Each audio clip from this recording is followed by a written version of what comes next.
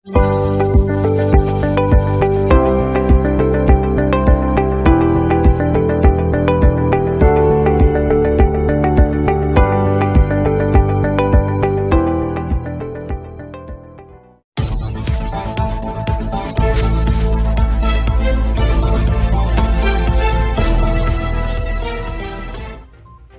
प्रफुल्ल पटेल की अध्यक्षता में सिलवासा में आज होगा हर घर तिरंगा कार्यक्रम।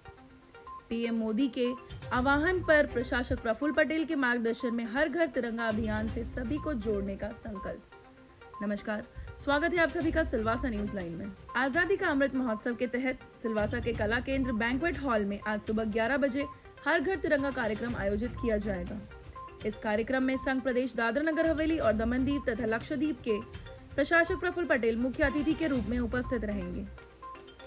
गौरतलब है कि आज़ादी के 75 वर्ष पूर्ण होने के उपलक्ष्य में मनाए जा रहे आज़ादी का अमृत महोत्सव के तहत पीएम मोदी के आवाहन और संघ प्रदेश दादरा नगर हवेली और दमनदीप तथा लक्षद्वीप के प्रशासक प्रफुल्ल पटेल के मार्गदर्शन में संघ प्रदेश थ्री के तीनों जिलों में हर घर तिरंगा अभियान ज़ोर शोर से चलाया जा रहा है। इस अभियान को सफल बनाने में पंचायतें, उद्योग संघों होटल एसओ जनप्रतिनिधियों, व्यापारिक प्रतिष्ठानों, सामाजिक संस्थाएँ, स्कूलों, प्रशासनिक अधिकारियों एवं आम नागरिक जुटे हुए हैं।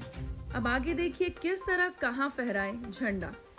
कहाँ फहराए तिरंगा। घर की बालकनी, दरवाजे या खिड़की पर ध्वज को फहराएँ ऊँचा।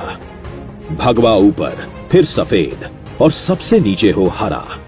सही क्रम में लहराएँ तिरंगा। हर घर तिरंगा। इसी तरह आसपास की खबरों से बने रहने के लिए अगर आपने हमारे चैनल को अब तक सब्सक्राइब नहीं किया है तो अभी सब्सक्राइब करें। धन्यवाद।